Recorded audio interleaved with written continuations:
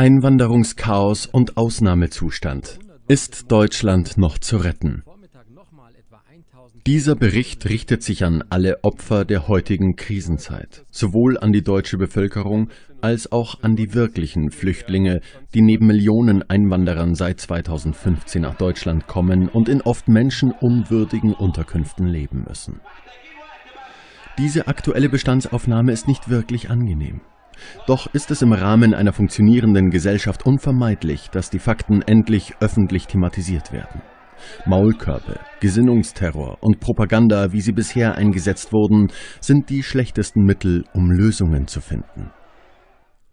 Die Tatsache ist, Deutschland befindet sich in schwersten Unruhen. Millionen Einwanderer, vertriebene Flüchtlinge, eingeschleuste Terroristen, überforderte Systeme und untätige Politiker bestimmen das Bild. Die blutigen Terroranschläge, die im Sommer 2016 eine völlig hilflose Bundesregierung offenbarten, zeigen, Deutschland hat sich innerhalb nur eines einzigen Jahres grundlegend verändert. Die seit Sommer 2015 nicht gestoppte Einwanderungsflut aus Afrika, Arabien und Südosteuropa, vor allem die damit verbundene explodierende Gewalt und Kriminalität sowie zahlreiche Terroranschläge in Deutschland, Belgien und Frankreich in 2016 schrecken nun immer mehr Menschen auf. Doch immer noch verbietet die von Massenmedien und Politik verordnete Schweigepflicht eine notwendige öffentliche Diskussion. Wer dies versucht, wird sofort reflexartig von Deutschlands Qualitätsjournalisten diskreditiert und als rechtsextremer Verschwörer verunglimpft. So gab es in den vergangenen Monaten zahlreiche Veröffentlichungen von unabhängigen Journalisten, von Wissenschaftlern und Politikern, die angesichts der ungebremsten Einwanderungsflut warnten vor den unabsehbaren Folgen für Deutschland und Europa. Sie warnten und wurden in den Mainstream-Medien heftig kritisiert und als Verschwörer, als rassistisch und rechtslastig diffamiert. Der Schweizer Publizist Roger Köppel, der deutsche Wirtschaftswissenschaftler Gunnar Heinsohn, Wissensmanufakturchef Andreas Popp, der Schweizer Historiker Daniele Ganser, die deutsche Journalistin Eva Herrmann, Ungarns Regierungschef Viktor Orban, der amtierende tschechische Staatspräsident Miloš Zeman, der ehemalige tschechische Präsident Václav Klaus, der Satiriker Dr. Alfons Pröbstl, der mehrere Jahre lang mit seiner Internetsatire-Show große Erfolge feierte, wurde nach seiner Enttarnung vom Mainstream so lange verfolgt und unter Druck gesetzt, bis er sich aus der Satiresendung zurückzog. Sämtliche Kommentatoren wurden von den sogenannten Qualitätsjournalisten mit Verschwörungsvokabeln belegt und nicht selten als rassistisch eingestuft. Eine sachliche Diskussion ist bis zum heutigen Tage nicht möglich.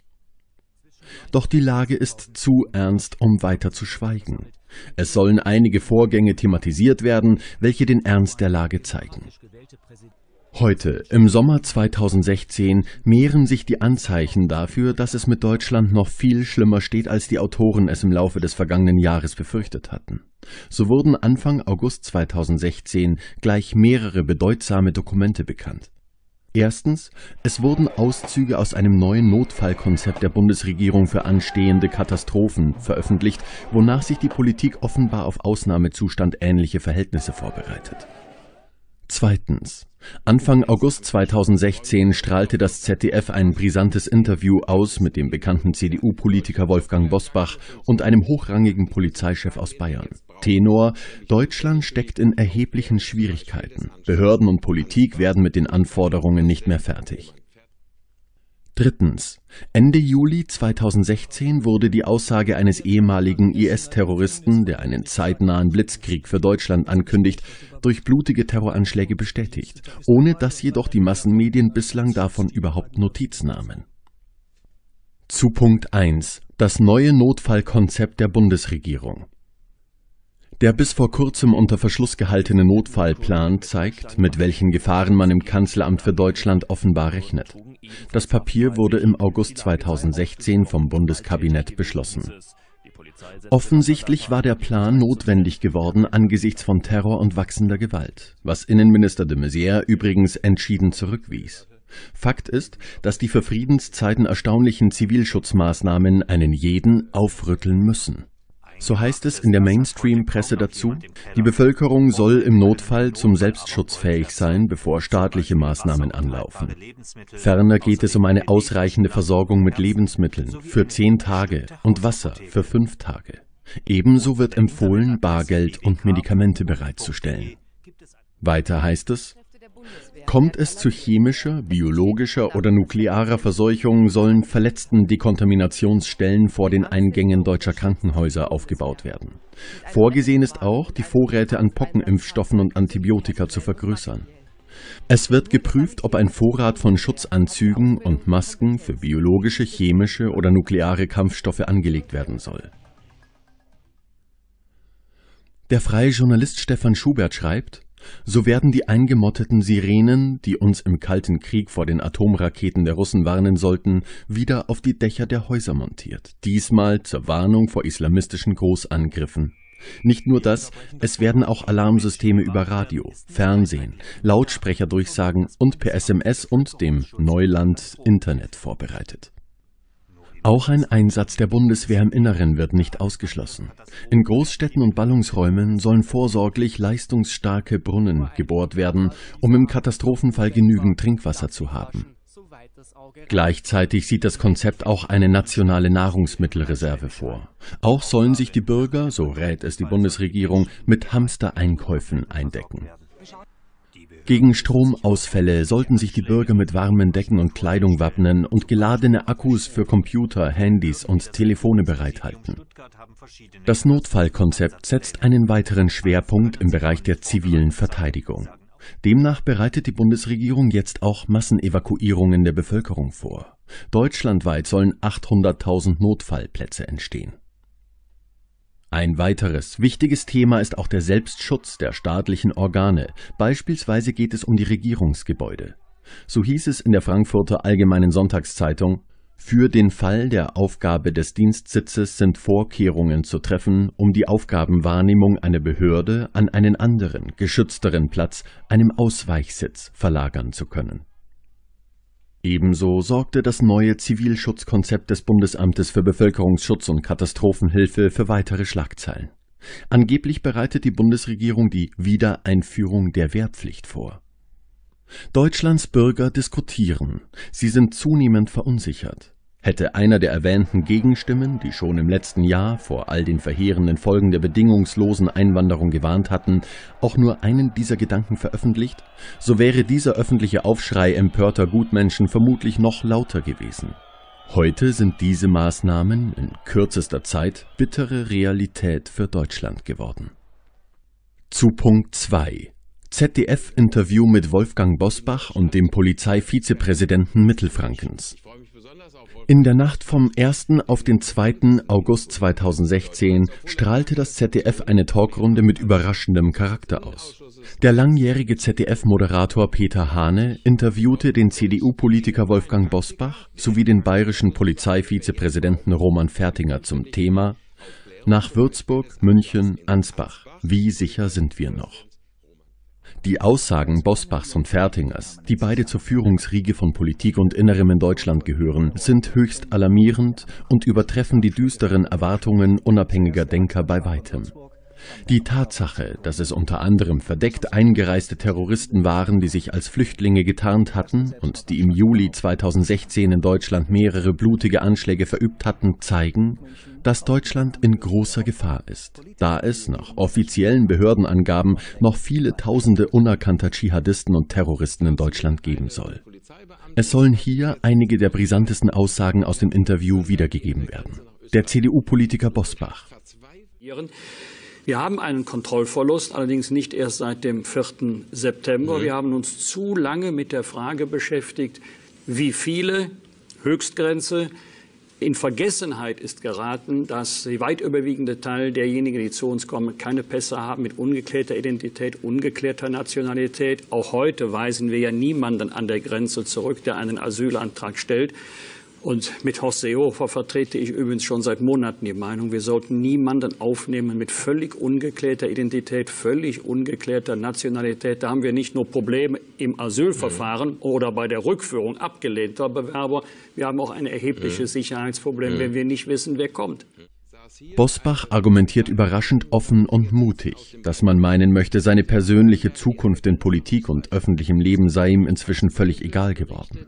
Kurz nach diesem Interview, Ende August 2016, gab Bosbach denn auch seinen Rücktritt aus allen Ämtern bekannt.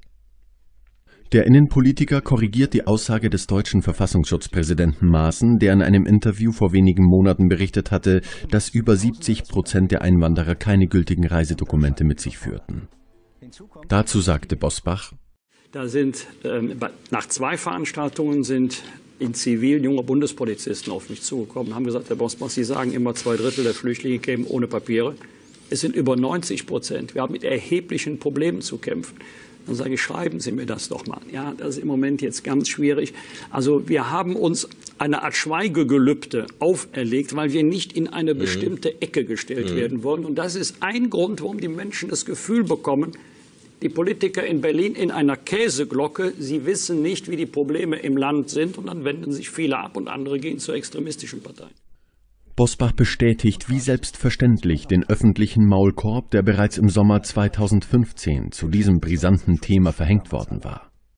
Also ich war selbst dabei, als uns vor gut einem Jahr erklärt wurde, es sei höchst wahrscheinlich, äh, höchst unwahrscheinlich, dass in dem Flüchtlingsstrom auch dschihadistische Kämpfer nach Europa. Ja, hier hat einer ernsthaft am äh, Tisch behauptet, ähm, die kämen ja alle mit dem Flugzeug, die würden doch nicht. Ja, ja das sei, ähm, der Weg sei zu lange, der Weg sei zu unsicher, keine Ortskenntnis, keine Sprachkenntnisse.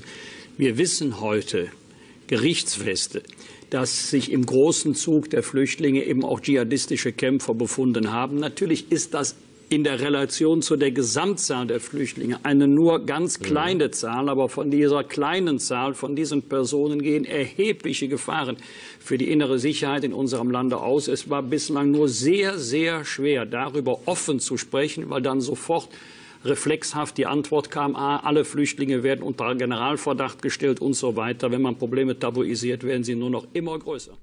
Der mittelfränkische Polizeivizepräsident Roman Fertinger bestätigt in demselben Interview, dass Terrorflüchtlinge wie der Ansbach-Attentäter offenbar mehr als gut organisiert sind und dass sie geheime Geldgeber zu haben scheinen, die eine gut geplante Logistik erst ermöglichen können.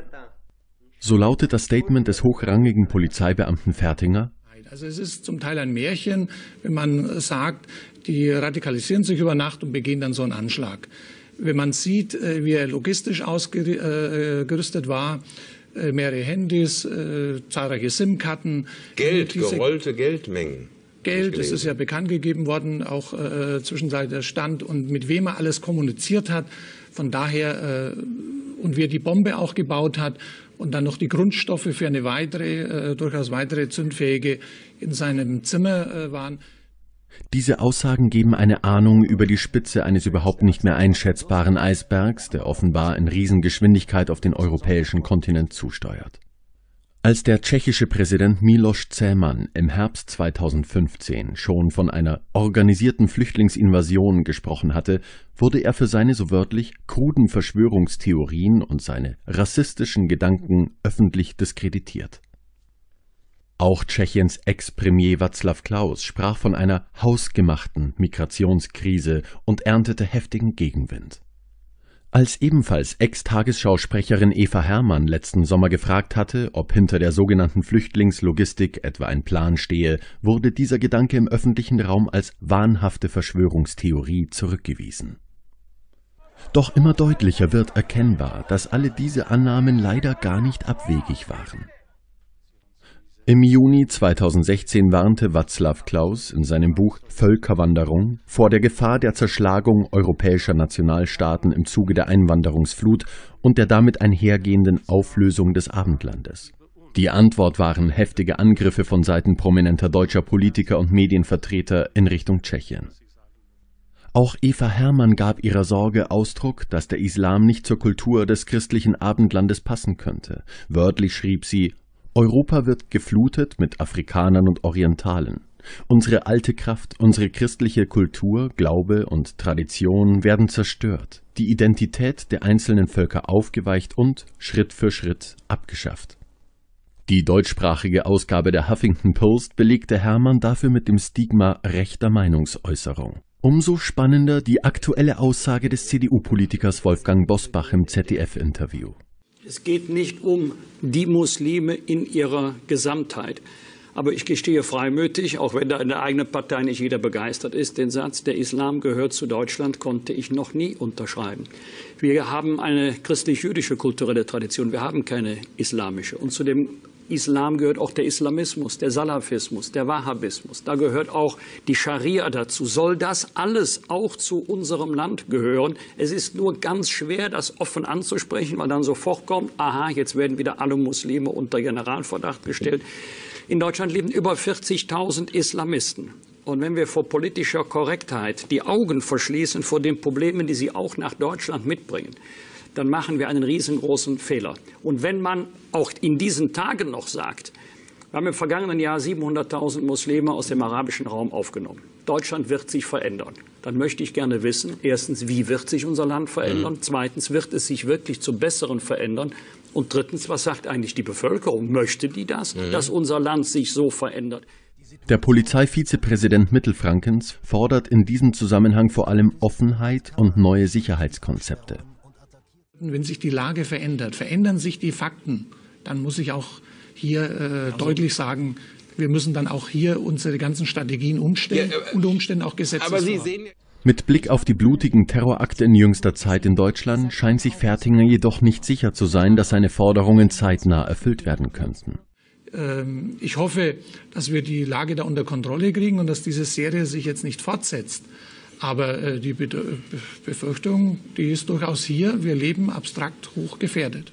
Die Schlussbemerkung des CDU-Politikers Bosbach im ZDF-Interview lässt aufhorchen, während man über die Zukunft Deutschlands nachsinnt. Und der Politiker, der manche Enttäuschung erlebt hat, auch in seiner eigenen Partei, gibt es Punkte, wo Sie sagen, jetzt schmeiße ich hin? Es gibt einen Punkt, mit dem ich zunehmend beschäftige, ob man wirklich bei allem Engagement, bei allem Aufwand noch etwas bewegen kann, noch etwas verändern kann. Vor drei, vier Jahren hätte ich gesagt, ja, heute bin ich hm. mir da nicht mehr so sicher. Zu Punkt 3. Ehemaliger IS-Terrorist kündigt Blitzkrieg für Deutschland an. Da berichtet im Dezember 2015 der ehemalige IS-Terrorist Harry S. gegenüber der Bremer Polizei ausführlich von einem geplanten, groß angelegten Terrorangriff auf Deutschland. Seit einem knappen Jahr sitzt der Mann in Untersuchungshaft. Er wird wegen mutmaßlicher Mitgliedschaft in einer terroristischen Vereinigung und wegen Verstoßes gegen das Kriegswaffenkontrollgesetz angeklagt. Nach Ansicht der Bundesanwaltschaft soll er sich letztes Jahr der Dschihadistenmiliz Islamischer Staat angeschlossen und in Syrien eine Kampfausbildung absolviert haben. In einem deutschsprachigen Propagandavideo des IS kann man sehen, wie Menschen hingerichtet werden. Harry S. schwenkt dabei eine Fahne. Die Aussagen des Ex-Terroristen werden von den Behörden als echt und glaubwürdig eingestuft. Sein Geständnis ist auf 700 Seiten dokumentiert. So sagte Harry S. unter anderem aus, der Islamische Staat plane, in der Bundesrepublik mehrere Angriffe gleichzeitig durchzuführen. Ein Blitzkrieg solle es werden, wird der Mann im Interview zitiert. Mit einem weiteren Dschihadisten wollte er an der sogenannten Spezialeinheit kämpfen, einer Gruppierung, die dafür da sei, um im Kampf, so wörtlich, eine Stadt zu öffnen, sagte Harry S. aus. Die Ausbildung stützte sich auf Kondition, Kampftechnik und Ideologie. Spiegel Online berichtet, die Maskierten hätten gefragt, seid ihr bereit, zurück nach Deutschland zu gehen, um dort Anschläge zu verüben? Nein, das wollten sie nicht, so Harry S. später vor Gericht. Doch die maskierten Männer hätten gesagt, Franzosen haben wir im Überfluss, also genug, die bereit sind, ihr Leben dafür zu lassen. Nach wenigen Wochen habe der IS-Geheimdienst Harry S. erneut gefragt, ob Harry S. Leute kenne, die in Deutschland Anschläge verüben würden und ob er nicht doch selbst dazu bereit wäre. Wir brauchen Action in Europa, hätten die Terroristen gesagt.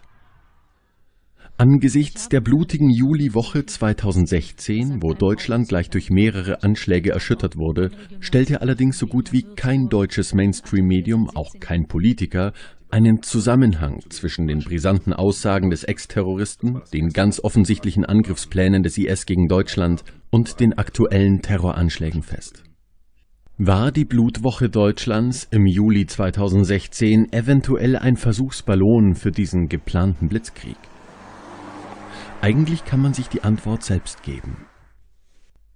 Europa, allen voran Deutschland, sollen zum Kalifat erklärt werden, wie es von IS-Terroristen schon mehrfach erklärt wurde. So sagte Harry S. wörtlich, Sie bereiten etwas vor, das überall zur gleichen Zeit passiert. Es solle eine Art islamischer Blitzkrieg werden. Er nennt als Hilfe das Handbuch für Terroristen, welches die IS-Kämpfer als roten Faden erhalten. Titel Wie man im Westen überlebt. Ein Handbuch für Mujahedin. Hierin lernt der Terrorwillige, wie man sich im Westen, auch in Deutschland, unauffällig zum Gotteskrieger entwickelt. Möglichst westliches Aussehen, möglichst auch westliche Eigenschaften annehmen. Wer keinen Bart hat, soll sich auch keinen wachsen lassen, um nicht unnötig aufzufallen. Die eigene Identität darf nicht erkennbar werden. Des Weiteren lernt man das Bombenbauen, wie man Waffen schmuggelt und unauffällig weitere tötungswillige Kämpfer rekrutiert. Die Anleitung für die Terroristen beginnt mit der Drohung, im Herzen Europas beginnt ein Krieg. Bundeskanzlerin Merkel empfahl in ihrer Sommerpressekonferenz 2016 übrigens, dass sich Frauen mit sexuellen Übergriffen wörtlich natürlich nicht abfinden müssten. Und bei einer Rede vor CDU-Anhängern in Ostdeutschland gab Merkel kurz zuvor mit folgendem Zitat zu, weit mehr über die Hintergründe zu den Terroranschlägen in Deutschland zu wissen als öffentlich bekannt. Zum Teil wurden sogar die Flüchtlingsbewegungen genutzt, um dort Terroristen mit einzuschleusen. Noch einmal. Zum Teil wurden sogar die Flüchtlingsbewegungen genutzt, um dort Terroristen mit einzuschleusen. Erstaunlich. Letztes Jahr waren derartige Äußerungen noch als wahnsinnige Verschwörungstheorien bezeichnet worden. Die Autorin Eva Hermann schrieb letzten Sommer wörtlich Merkwürdig, dass es immer wieder Deutschland ist, das in den besonderen Fokus der Bösen gerät. In einem kürzlich erschienenen Propagandavideo des Islamischen Staates wurden für die Bundesrepublik und Österreich ebenfalls Terroranschläge angekündigt. Speziell Bundeskanzlerin Merkel wurde persönliche Rache angedroht für das Blut von Muslimen, das in Afghanistan vergossen wurde. Weiter hieß es in dem Kommentar in dem fünfminütigen Video sind zwei deutschsprachige IS-Kämpfer zu sehen, welche europäische Muslime auffordern, sich dem selbsternannten Islamischen Staat in Syrien und Irak anzuschließen, um in Deutschland und Österreich den Dschihad zu führen, sowie jeden Ungläubigen abzuschlachten. Wörtliches Zitat Du brauchst nicht viel. Nimm ein großes Messer und schlachte jeden Kafir. Sie sind wie Hunde. An Merkel gerichtet hieß es weiter, O Merkel, du schmutzige Hündin, wir werden uns rächen für die Beschimpfung des Propheten, warnt der österreichische Dschihadist, wir werden uns rächen für die Waffenlieferung an die Abtrünnigen hier im Islamischen Staat. Unsere Rache wird bei euch vor Ort sein. Als Angela Merkel Ende Juli 2016 ihre überraschende Pressekonferenz zu den blutigen Anschlägen in Deutschland gab, als sie die Türkei als wichtigen Partner auszeichnete, ungeachtet der gerade erfolgten tausenden Verhaftungen von Richtern und Journalisten und der unsicheren politischen Lage dort, wurde bei vielen Menschen viel Vertrauen vernichtet. Die Umfragewerte der Kanzlerin sind im Keller. Doch diese Tatsache ist nur noch eine unbedeutende Randnotiz im Geschichtsbuch Deutschlands. Die sogenannte Regierung scheint offenbar tatsächlich einem merkwürdigen Plan zu folgen. Germany's Our Problem betitelte schon der ehemalige US-Politiker Henry Morgenthau Jr., ein bemerkenswertes Buch über unser Land, welches er 1945 veröffentlichte. Und Probleme? Richtig. In aller Regel beseitigt man die. Dieser Bericht richtet sich an alle Opfer der heutigen Krisenzeit, sowohl an die deutsche Bevölkerung als auch an die wirklichen Flüchtlinge, die neben Millionen Einwanderern seit 2015 nach Deutschland kommen und in oft menschenunwürdigen Unterkünften leben müssen. Teile und herrsche. So lautet die Machtdevise seit tausenden Jahren. Doch genau das dürfen wir nicht tun. Menschen lasst euch nicht auseinanderdividieren. Steht zusammen, haltet zusammen, informiert euch, prüft die Fakten, glaubt nicht alles, was man euch erzählen will. Lernt zu unterscheiden zwischen richtig und falsch, zwischen Recht und Unrecht. Fordert endlich Wahrheit. Es ist allerhöchste Zeit.